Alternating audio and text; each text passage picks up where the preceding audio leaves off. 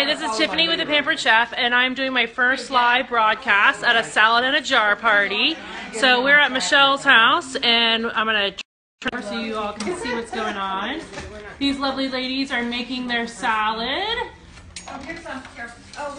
So I'll come over here. We got cucumber station. Michelle's working on our cucumbers. Oh, We've got our peppers getting sliced and diced by the quick slice. That's pretty cool. We're cutting our tomatoes with um, the uh, closing cut here.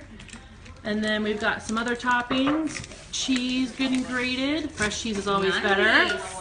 And then lastly, we have our lettuce getting put in. So we've got some more lettuce we probably can spin here in a second. Do you do your cheese and then chicken? I think- Well, uh, yeah, like she Yeah, said. chicken and cheese are towards the end. So that's why it's all kind of like over there. Yeah, your proteins are at the end. Do we have any more lettuce? Yes. And so far, we've got three people who have joined us. My friend Kimmy, Melissa, and Paula are now watching us live. Say hi. Yeah. So these ladies are almost finished with their jars. You need more, don't you? And we also have two bean chicken chili simmering on the stove. So this is part of our soup and salad. We use the veggie spiralizer to do our zucchini. So that's why we have nice little um, strips of zucchini in there. Look at that one, lovely. So we just open the bag. You can use those shears right there. This is such a fun party. These ladies are going to take their jars home and put them in the. They'll last um, up to five days. Um, the mason jar keeps it all nice and airtight. Um, the dressing is on the bottom. No, we need to So here's one up close. See, there's the dressing. We got some stuff going on in there. We need to wash this. So what is this? That's So this is the we have closing cut. bags. Have you used this one already? Want to show her how to use it? Oh, surely not. All right, so we're gonna put our. How many tomatoes? Because it's gonna cut it in two. You're gonna cut them in half. You want more than that? Oh, okay. Michelle, you want some? Oh yeah. No, I don't need tomato. Okay, I do. Okay, Here, that's you want good. to do it? What do you do? All right, here we go. So put the knife down. Here, Oh, and then you cut, just cut it through. Keep cutting it. Keep going. There you go. Go all the way to the end. Yep. I go back and forth just like you're doing. You'll feel it kind of hit the end. It's just straight. It doesn't come all the way out. So just pick up your hand. Pick up this hand.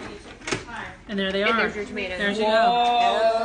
oh, Isn't that thing's hot, right? beautiful? Okay, just be careful. That's a sharp knife. that is And like you do the chicken in it. The raw chicken. Yeah, we did our raw chicken in there. We filleted our chicken before we Instead of cooked beating it. it. Instead of beating it. Instead of beating it.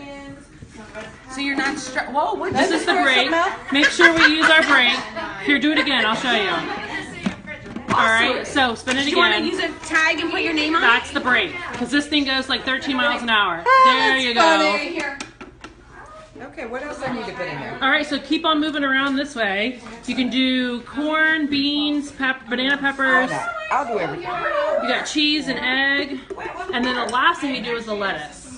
So look at this one. This one looks nice. Shove it in there. You can pack as much as you want in there. So over in the fridge, we've already got some lined up. These ladies have written their names on them and lined them up.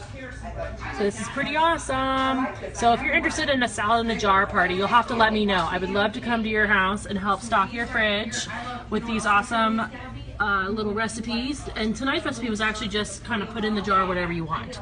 So um, they were able to plus and minus their veggies. So one more to go in. So and then as we finalize doing all of our toppings, the ladies will again help themselves to soup and the toppings, and we'll wrap up our show. Thanks for uh, joining us at Michelle's show at our first live Pampered Chef broadcast performance duties.